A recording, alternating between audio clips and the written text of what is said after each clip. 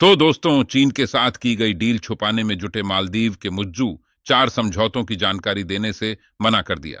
क्या है पूरा मामला? इस वीडियो में जानकारी आपको बताने जा रहा हूँ तो बने रहिए।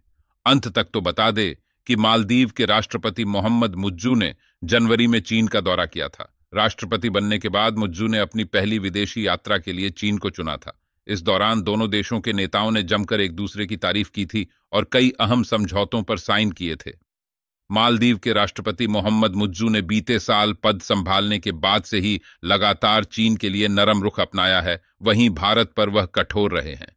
मोहम्मद मुज्जू ने 8 से 12 जनवरी तक चीन का दौरा किया था। इस दौरान दोनों देशों के बीच कई समझौतों पर हस्ताक्षर हुए थे, जिन्हें दोनों देशों ने संबंधों को मज़बूत करने और आम लोगों के हित में बताया था। इन समझौतों को लेकर अब एक नई बात सामने आई है।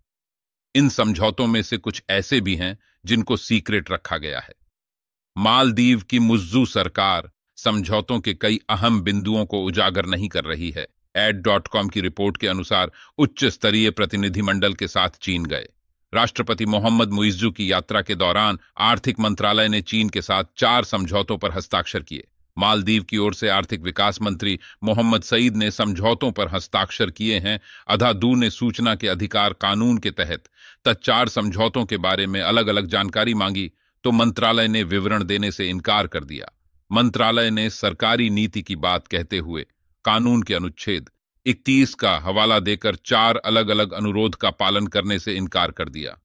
चीन ने भी मालदीव के राष्ट्रपति की यात्रा के दौरान हस्ताक्षरित 20 समझौतों के अधिक विवरण का खुलासा करने से इनकार किया है।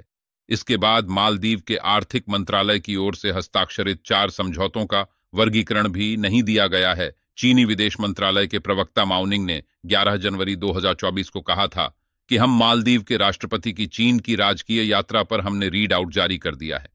इसके अलावा और कोई जानकारी नहीं है। चीन के विवरण देने से इनकार करने के बावजूद मालदीव सरकार ने कहा था कि वह चीन के साथ हस्ताक्षरित समझौतों के विवरण का खुलासा करेगी, लेकिन ऐसा नहीं किया गया। आर्थिक मंत्रालय की ओर से जो चार समझौते गोपनीय रखे गए हैं, वह हैं आर्थिक विकास नीति के क्षेत्र में आदान प्रदान और सहयोग पर समझौता डिजिटल अर्थव्यवस्था।